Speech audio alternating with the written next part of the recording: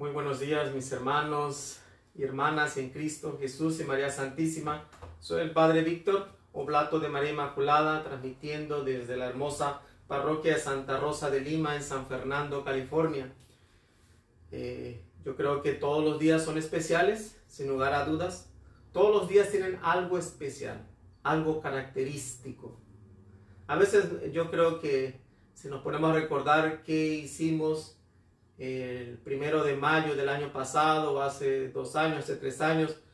A lo mejor puede ser que nos acordemos, a lo mejor puede ser que no nos acordemos. Pudo haber pasado algo especial el primero de mayo, pudo haber sucedido a lo mejor algo trágico, algo triste el primero de mayo, pero todos los días tienen su peculiaridad, sin lugar a dudas. El mes de mayo se considera como el mes de María, y por eso yo creo que la estrella que nos guía en este mes, sin lugar a dudas, será María.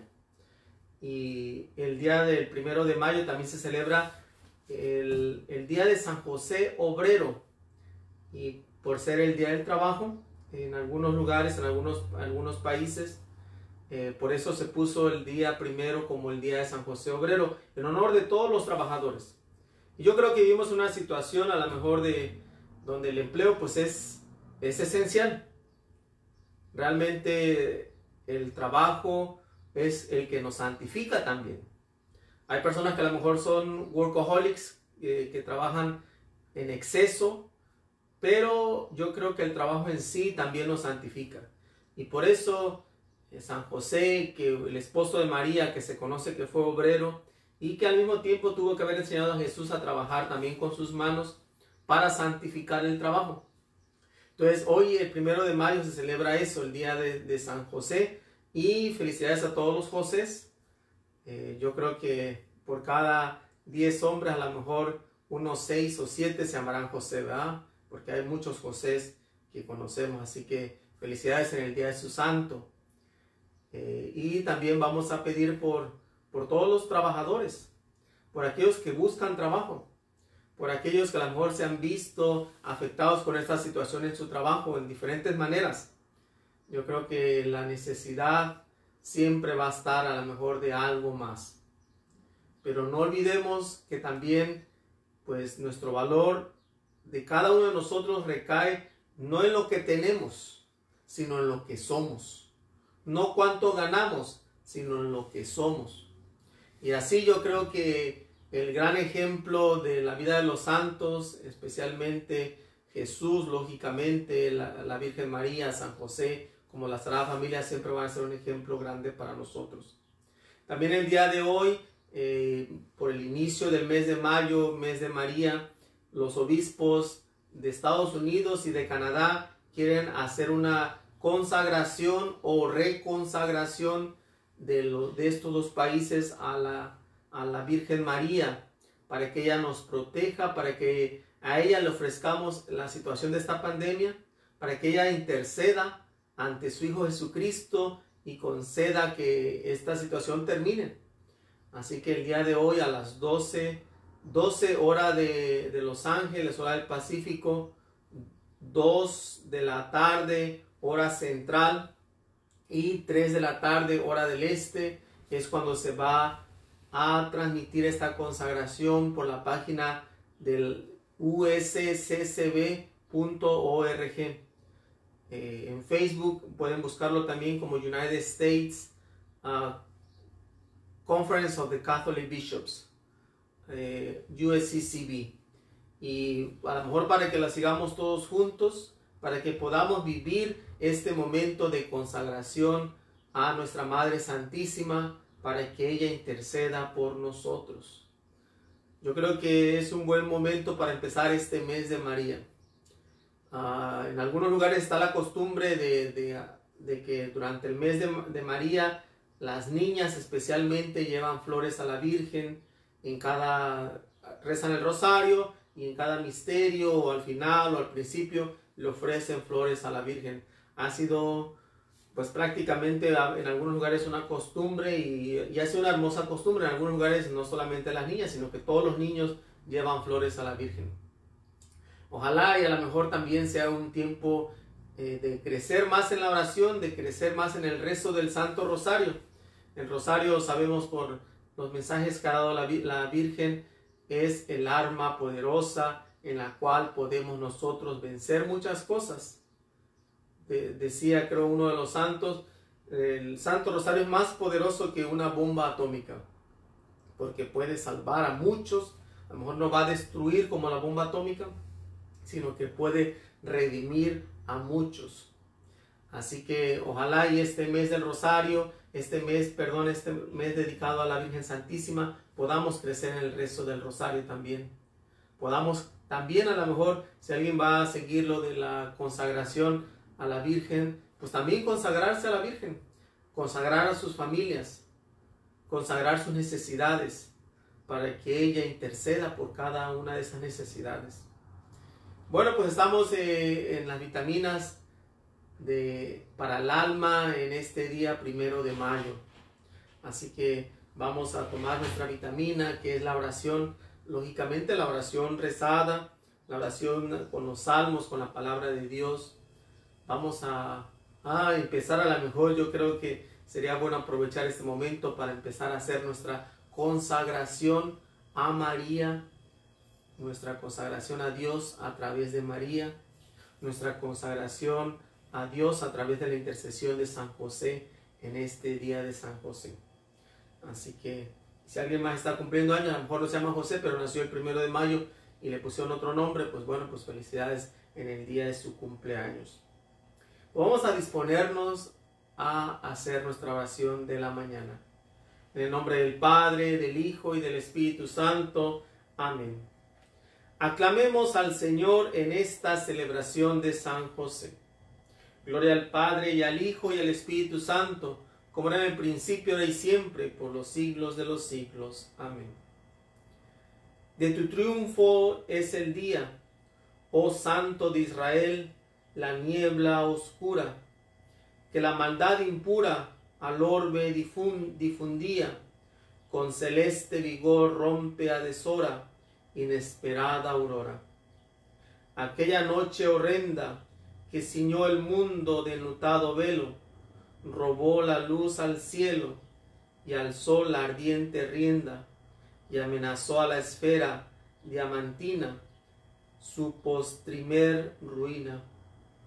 Y aquel pavor que el seno estremeció de la confusa tierra, mezclando la dura guerra, los aires con el trueno, cuando vago el cadáver animado del tumulto lanzado, y el silencio ominoso que al pavor sucedió de la natura, y el luto y la tristura del suelo temeroso. Disipa, inmenso Dios de la victoria, un rayo de tu gloria. Gloria al Padre y al Hijo y al Espíritu. Amén. Cuando habla del Santo de Israel, lógicamente habla de Jesús. Él es el Santo con S mayúscula, pero de, de Jesús que proviene todo lo bueno por ser Dios, del Dios que provee todo lo bueno. Sin lugar a dudas, este, pues San José proviene pues de Dios. San José el hombre del silencio. Un poco este, confuso creo que este himno, ah, porque habla sobre, bueno, e, esta lucha entre la oscuridad y la luz, entre el bien y el mal, que yo creo que es una lucha que va a ser hasta el final de los tiempos. No podemos decir que en algún momento eh, ya se ha vencido la oscuridad, se ha vencido el mal. Mientras estemos vivos vamos a estar con esta lucha. Hay como esta siempre tensión entre la gracia y el pecado. La gracia que quiere redimirnos y el pecado que quiere condenarnos. Y yo creo que esta tensión, sin lugar a dudas, la vivieron todos los santos. Nosotros exaltamos lógicamente a los padres de Jesús, a María y a José, porque tuvieron que haber sido especiales, ¿verdad? Para ser padres eh, de manera, se puede decir, eh, especialmente San José, va de manera adoptiva, eh, pues tuvieron que haber sido, en este caso, San José un hombre y María una mujer extraordinarios. Pero me imagino que el mal pues también los acechaba, como acechó a Jesús, ¿verdad? Aún Jesús fue tentado siendo el Hijo de Dios. Pero en la ayuda de la gracia, en este caso, este, puede hacer que el pecado pues sea vencido, sea a lo mejor sea disminuido, sea debilitado, porque la gracia es más fuerte. Y de ahí a lo mejor una de las frases dedicadas a la Virgen que es bíblico que el ángel la saluda diciendo, eh, alégrate María, llena eres de gracia. Y a lo mejor, y, en este contexto, por ser la llena de gracia, pues fácilmente podía vencer el pecado. Eh, San José, a lo mejor tenemos sus atributos, y yo creo que este himno nos quiere recordar eso, Este, la niebla oscura, la maldad impura, el or, del, al orbe difundía, pero dice, eh, con celeste vigor rompe la deshora, inesperada aurora. En este caso sabemos que es Jesús, ¿verdad? El santo de Israel. Eh, y por eso la venida de Él viene a transformar y a renovar pues, la vida de, muchas personas, y en este caso a San José, pensando en este día de San José. Y bueno, eh, al, al, final yo creo como cierra este, este himno, dice, bueno, del silencio, del pavor, del luto, la tristura, el suelo temeroso, disipa, inmenso Dios de la victoria, un rayo de tu gloria. Y yo creo que eh, los santos están invitados y nosotros por nuestro bautismo estamos llamados también a ser santos.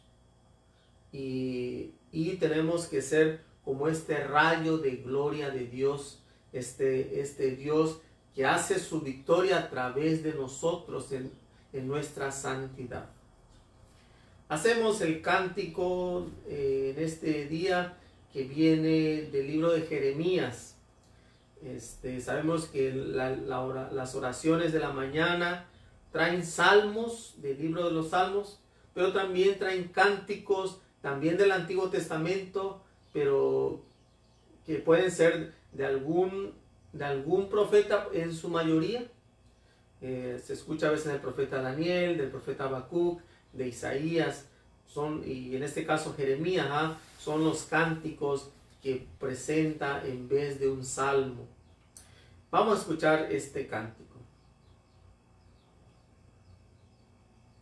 Mis ojos se deshacen en lágrimas, día y noche no cesan por la terrible desgracia de la doncella de mi pueblo, una herida de fuertes dolores. Salgo al campo, muertos a espada, entro en la ciudad desfallecidos de hambre. Tanto el profeta como el sacerdote vagan sin sentido en el país. ¿Por qué has rechazado del todo a Judá? ¿Tiene asco tu garganta de Sión? ¿Por qué nos has herido sin remedio? Se espera la paz y no hay bienestar. Al tiempo de la cura sucede la turbación. Señor, reconocemos nuestra impiedad, la culpa de nuestros padres porque pecamos contra ti. No nos rechaces por tu nombre, no desprestigies tu trono glorioso. Recuerda y no rompas tu alianza con nosotros. Gloria al Padre y al Hijo y al Espíritu Santo, como era en el principio, ahora y siempre, por los siglos de los siglos. Amén. Es interesante este cántico del libro de Jeremías. Lógicamente empieza con una lamentación, una lamentación donde eh, pues se ve, dice, salgo, salgo al campo muertos de espada, entro en la ciudad desfallecidos de hambre. Es como una situación totalmente de desastre. Dice, tanto el profeta como el sacerdote vagan sin sentido por el país y cuestiona a Dios diciendo, ah, ya nos has rechazado, tienes asco de nosotros, eh, ¿por qué nos has herido sin remedio? Dice, se espera la paz y no hay bienestar. Dice, al tiempo de la cura sucede la turbación. Pareciera que a veces las cosas van mejorando y de repente algo, otra cosa sucede. Yo no sé si a lo mejor yo he escuchado historias de algunas personas que pues pareciera que les llueve sobre mojado. O les sucede una cosa y parece que van, van saliendo y viene otra cosa. Y, uno se pregunta, y bueno, ¿por qué? ¿Por qué Dios permite esto? Ah? Que es la misma pregunta que hace el profeta. Pero dice, bueno, ¿será por nuestros pecados? ¿Será por los pecados de nuestros padres? ¿Será porque hemos pecado contra ti? Eh, hasta cierto punto, él no pregunta, él reafirma que es esto lo que Dios, eh, pues a lo mejor está permitiendo por nuestros pecados que nos suceda. Pero no se queda ahí. El profeta dice, no nos rechaces por tu nombre, no desprestigies tu trono glorioso, recuerda y no rompas tu alianza con nosotros. Ahí es donde nosotros tenemos que confiar que hay un plan, que hay una alianza de Dios. Dios no nos va a rechazar. Y a veces necesitamos seguir confiando, seguir confiando. Digo, a, lo mejor se nos hace fácil decirlo a nosotros, ¿verdad? O a, algunos que no estamos sufriendo las situaciones que están sufriendo otros. Pero yo creo que son palabras que tenemos que aceptar, que vivir, de perseverar, de confiar, porque Dios no va a romper su alianza, no va a romper su plan que tiene preparado para nosotros. Y mientras estemos vivos hay esperanza. Hacemos la palabra de Dios de los Hechos de los Apóstoles, capítulo 5, versículo del 30 al 32. El Dios de nuestros padres resucitó a Jesús, a quien ustedes mataron, colgándolo de un madero. La diestra de Dios lo exaltó, haciéndolo jefe y salvador para otorgarle a Israel la conversión con el perdón de los pecados. Testigo de, testigos de esto somos nosotros y el Espíritu que Dios da a los que le obedecen. Palabra de Dios. Te alabamos, Señor. Esta lectura la escuchamos eh, el viernes pasado y el viernes antepasado y nos recuerda pues este hecho de este hecho de la resurrección en el libro de los Hechos de los Apóstoles, ¿ah? donde Pedro dice, el Dios de nuestros padres resucitó a Jesús, a quien ustedes mataron colgándolo de, un madero. ¿ah? Pero Dios lo exaltó haciéndolo jefe y salvador. Ahí en este sentido que aún aunque eh, hemos hecho a lo mejor lo no propio, eh, a lo mejor hasta cierto punto por nuestra humanidad, pues somos responsables, ¿ah? se podría decir, este, de, la muerte de Jesús. Digo, a lo mejor eh, eh, no hay que tomarlo tampoco tan, pero por nuestra humanidad, por nuestra humanidad, porque compartimos esta misma humanidad. Este, nuestros antepasados hicieron eso y por lo tanto, pero dice Dios lo, rescató, no es como que tampoco esa, esta como una culpa, una carga, porque Dios lo exaltó y lo le concedió a ser jefe y salvador de todo Israel para la conversión, para la conversión con el perdón de los pecados. Y esto es lo que a lo mejor vemos que la muerte de Jesús no es para, no ha sido, o la situación de la muerte no fue para redimirnos, para salvarnos, para perdonar nuestros pecados, y por eso Él resucitó también, y pues debemos de ser testigos de, de, de, su muerte, de su resurrección, de su presencia en medio de este mundo. Contestamos a la lectura con, con esta antífona. El Señor ha resucitado del sepulcro, aleluya, aleluya. El Señor ha resucitado del sepulcro, aleluya, aleluya. El que come mi carne bebe mi sangre habita en mí y yo en él, aleluya. Bendito sea el Señor Dios de Israel, porque ha visitado y redimido a su pueblo, y ha hecho surgir en favor nuestro un poderoso Salvador en la casa de David su siervo. Así lo había anunciado desde antiguo por boca de sus santos profetas, que nos salvaría de nuestros enemigos y de las manos de todos los que nos aborrecen, para mostrar su misericordia a nuestros padres y acordarse de su santa alianza. El Señor juró a nuestro padre Abraham, concedernos que libres ya de nuestros enemigos, los sirvamos sin temor en santidad y justicia delante de Él todos los días de nuestra vida. Y a ti, niño, te amarán profeta del Altísimo, porque irás delante del Señor a preparar sus caminos y anunciar a su pueblo la salvación mediante el perdón de los pecados. Por la entrañable misericordia de nuestro Dios, nos visitará el sol que nace de lo alto, para iluminar a los que viven en tinieblas y en sombras de muerte para guiar nuestros pasos por el camino de la paz. Gloria al Padre y al Hijo y al Espíritu Santo, como era en el principio, ahora y siempre, por los siglos de los siglos. Amén. El que come mi carne y bebe mi sangre, habita en mí y yo en él. Aleluya. En estos días hemos estado escuchando en la lectura del, del Evangelio, de las misas, esta lectura sobre el discurso del pan de vida y que ojalá y podamos crecer en este, en este conocer, aceptar y amar a Jesús, pan de vida, que está presente pues en el Santísimo Sacramento, que en cada Eucaristía pues Él convierte el pan y el vino en su cuerpo y en su sangre. Hacemos nuestras preces. Al comienzo de esta nueva jornada levantemos agradecidos nuestros corazones a Dios diciendo, Danos tu fuerza para que trabajemos en tu servicio. Gracias Señor por el don de la creación que manifiesta tu bondad y tu gloria. Te pedimos que nos enseñes a respetar el medio ambiente. Danos tu fuerza para que trabajemos en tu servicio. Gracias porque nos llamas a cuidar del mundo y de los demás con el trabajo de nuestras manos.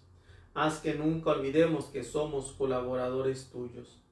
Danos tu fuerza para que trabajemos en tu servicio. Gracias por todos los obreros y trabajadores del mundo que santifican su trabajo.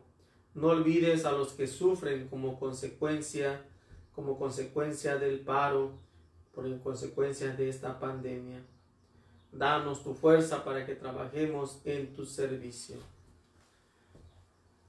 Pues en este día queremos eh, que el Señor nos tome de su mano, que podamos nosotros ah, pues crecer en esta fortaleza, en esta convicción de que Dios está con nosotros. Nos consagramos a la Virgen María en este día, eh, junto con, con la consagración que van a hacer los obispos, que ella vea nuestras necesidades y las interceda para que podamos salir de todo esto pronto, para que pues se vea una esperanza de que ya volvamos un poco a la normalidad, especialmente volver a la vida como iglesia, eh, pero especialmente pues para que pues sea un ambiente de, de salud, no de enfermedad, no de miedo, que pues el Señor a través de la intercesión de María nos conceda lo mejor en este, pues en este tiempo y nos pueda liberar de, de esta pandemia. Roguemos al Señor. Danos tu fuerza para que trabajemos en tu servicio. Pues por todos los que trabajan, por todos los que a lo mejor también se están exponiendo ante esta pandemia, los trabajadores esenciales que se les dice, eh, se les dice que por las personas que han perdido su trabajo, por las personas que andan buscando trabajo y que ahora pues es mucho más difícil encontrar, por las personas que se ven limitadas por, porque en algunos lugares también les han cortado horas eh, de trabajo que significa menos salario y con las responsabilidades de familia, responsabilidades de, de deudas, eh, por esta pues necesidades que tienen de, de, un trabajo bien remunerado, que puedan a lo mejor encontrar soluciones, puedan encontrar la fortaleza, puedan encontrar salidas de esperanza, puedan encontrar la paz y sobre todo puedan eh, pues ver cómo su trabajo los está santificando para que también venzamos la pereza por aquellos que a lo mejor trabajan menos, por aquellos que no se esfuerzan tanto, que podamos vencer esta pereza para que nos hagamos personas útiles para el bien del mundo, personas útiles para la, nuestra propia santificación. Roguemos al Señor. Danos tu fuerza para que trabajemos en tu servicio. Ahora en silencio ofrezcan sus propias necesidades e intenciones.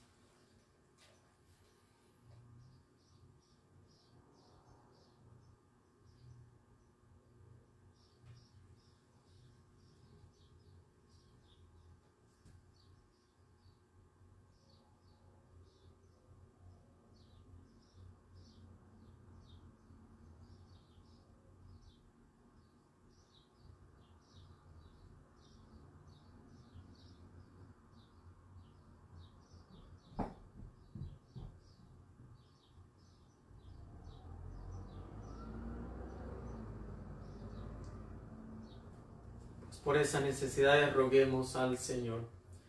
Danos tu fuerza para que trabajemos en tu servicio. Pues ahora juntos ofrecemos al Padre estas necesidades, a este Padre que nos ama, a este Padre que quiere lo mejor para nosotros, diciendo, Padre nuestro que estás en el cielo, santificado sea tu nombre, venga a nosotros tu reino, hágase tu voluntad en la tierra como en el cielo. Danos hoy nuestro pan de cada día Perdona nuestras ofensas como también nosotros perdonamos a los que nos ofenden. No nos dejes caer en tentación y líbranos del mal. Dios Todopoderoso concede a quienes hemos conocido la gracia de la resurrección del Señor resucitar por el amor del Espíritu Santo a una nueva vida. Por nuestro Señor Jesucristo, tu Hijo, que vive y reina contigo en la unidad del Espíritu Santo y es Dios por los siglos de los siglos. Amén. El Señor esté con ustedes. La bendición de Dios Todopoderoso, Padre, Hijo y Espíritu Santo descienda sobre ustedes y permanezca para siempre. Amén. Quiero compartirles esta historia eh, de, que nos habla del, del valor de uno mismo. Sin lugar a dudas que uno de los grandes problemas del mundo actual, de la sociedad actual, es la depresión, uh, que es fruto del poco valor que a veces nos damos a nosotros mismos o el mucho valor que le damos a circunstancias o personas. Yo creo que en la vida hemos desarrollado esta baja autoestima por diferentes circunstancias. Porque en una necesidad yo digo que es casi como una necesidad básica, así como comer, dormir, este, el, el deseo de amar y de ser amados.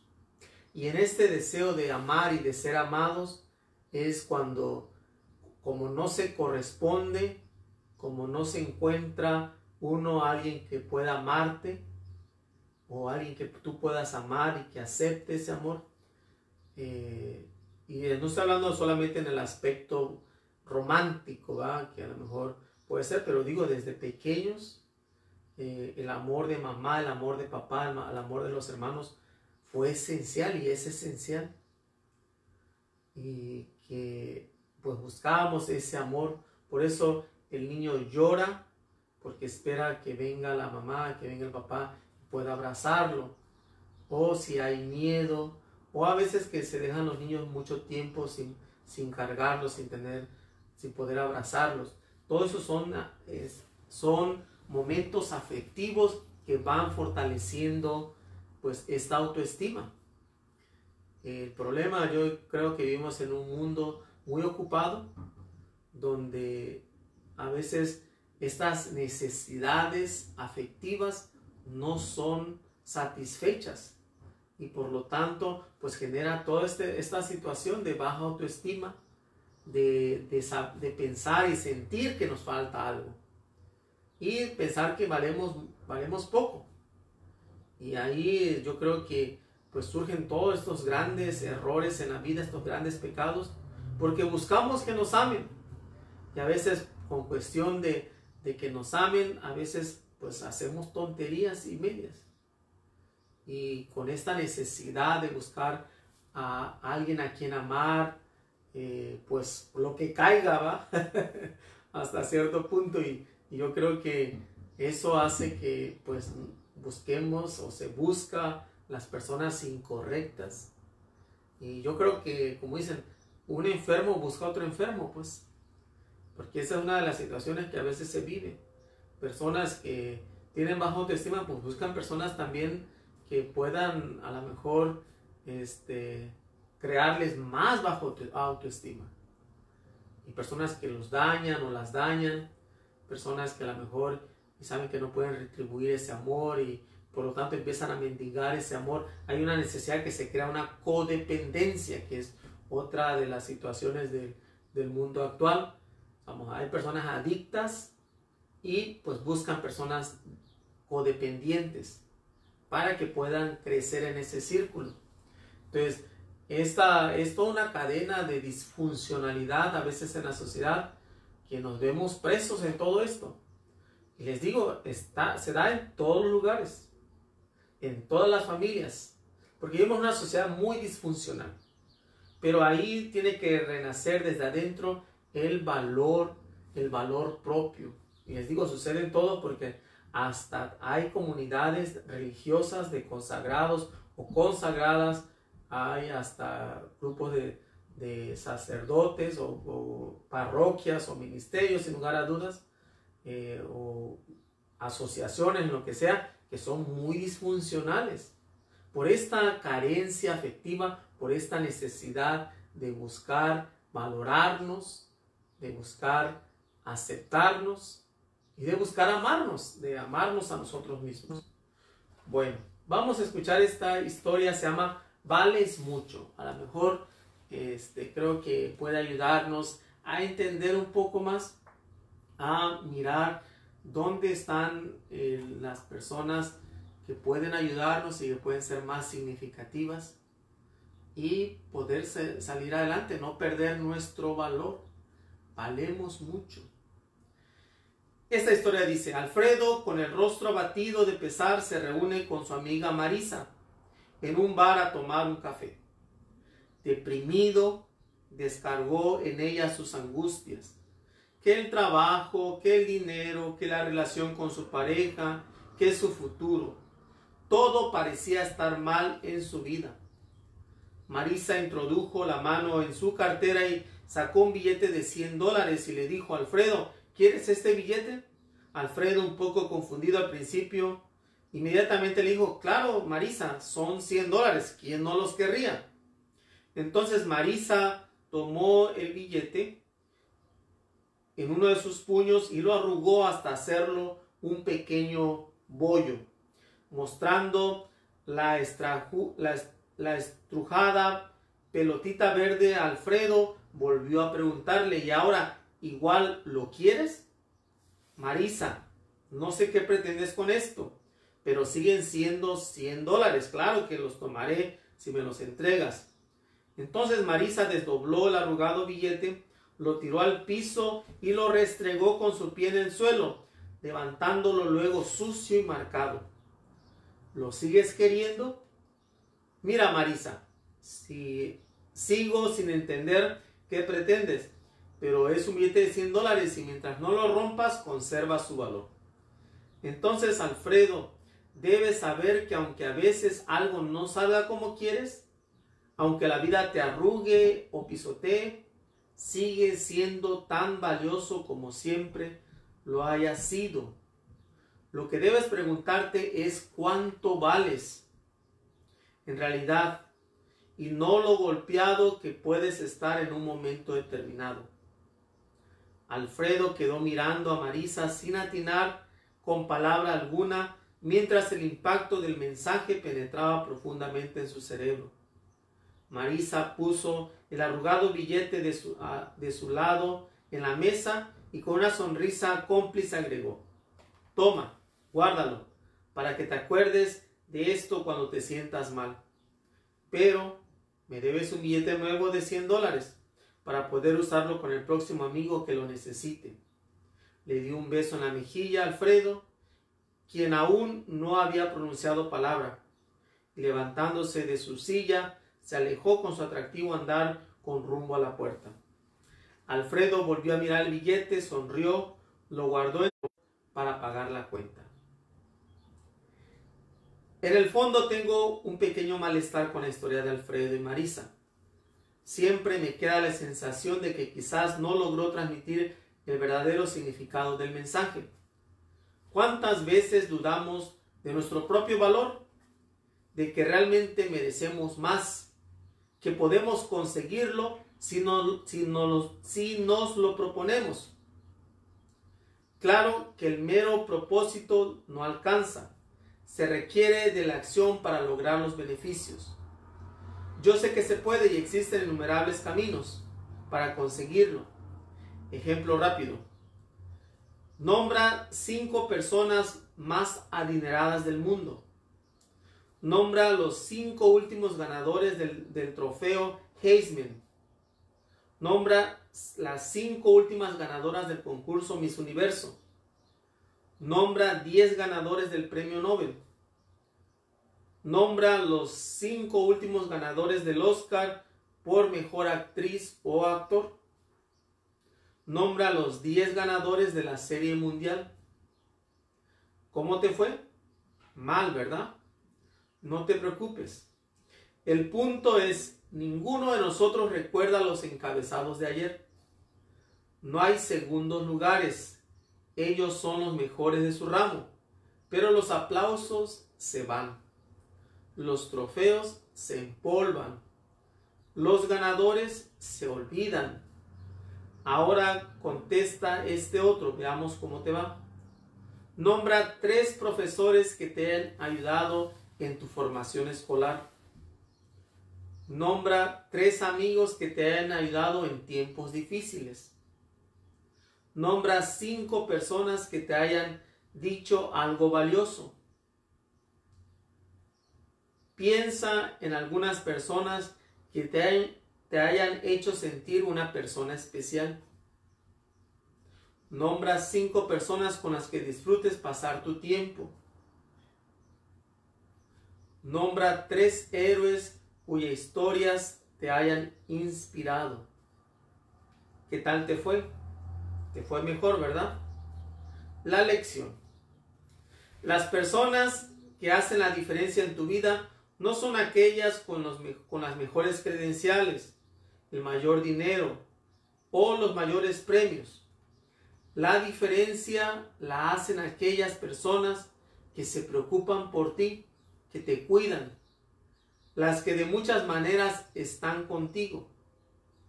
Toma un momento para reflexionar. La vida es muy corta. Tú, ¿en qué estás lista? ¿En qué, en qué lista estás? ¿En cuál de estas listas estás? Entre los que los amigos que han ayudado, los personas que han sido valiosas, que han hecho sentir a otras personas especiales, que hayan disfrutado pasar el tiempo eh, porque sus historias de vida han inspirado. ¿No sabes? Déjame darte una ayudadita. Pues no estás entre los famosos, pero sí entre los que siempre serán recordados con cariño. Yo creo que el, valor, sin lugar a dudas, el valor de nosotros a veces eh, pues recae cuando recordamos personas especiales en nuestra vida. Eh, a veces el pasar un día riendo con alguien, teniendo una conversación muy amena, el, pasar un tiempo, a lo mejor estar jugando algo que te hace te hacen sentir especial, hacen a la otra persona sentir especial y es el momento especial. El momento a lo mejor cuando alguien digo, qué bien lo hiciste, eh, me gusta cómo haces esto, qué bien te ves. Somos, son cosas que van animando y levantando la autoestima. Y a veces yo creo que nosotros tenemos que dar nuestras palmaditas en, en nuestros hombros para para decir que estamos haciendo las cosas como lo mejor que podemos. Y qué bien salen las cosas a veces. El mirar a alguien y a veces poder decir, mira, qué bonitos zapatos tienes, o oh, qué bonita camisa, playera o, o blusa, o qué bien te ves, qué hermosa sonrisa, qué hermosos ojos, o eres especial, yo creo que ah, nos toca a nosotros a veces eh, pues ser mensajeros de esta, de esta esperanza, de esta fortaleza, de ese valor que tienen los demás. Y van a ver, a veces cuando uno empieza a ejercitarlo con los demás, los demás se dan cuenta y empiezan a ejercitarlo o hacerlo contigo. De que uno va levantando el ánimo de la otra persona y después la otra persona te va levantando el ánimo a ti. A lo mejor no buscando eso, ah, vamos a hacerlo, ah, pero, pero como dicen, todo lo, bueno se regresa. Como todo lo malo se regresa también. Así que a lo mejor y podamos nosotros crecer en este amor de dar más a los demás. Bueno, pues el día de hoy está la consagración a las 12 del día, hora de Los Ángeles. Ojalá la consagración a María para que podamos vivir todos juntos. Nosotros por nuestra parte pues lo vamos a hacer eh, pero podamos verlo ahí directamente. Bueno, pues que el Señor les bendiga a través de la intercesión de María. El Señor esté con ustedes. La bendición de Dios Todopoderoso, Padre, Hijo y Espíritu Santo, descienda sobre ustedes y permanezca para siempre. Amén. Feliz día. El Señor ha resucitado. Aleluya, aleluya.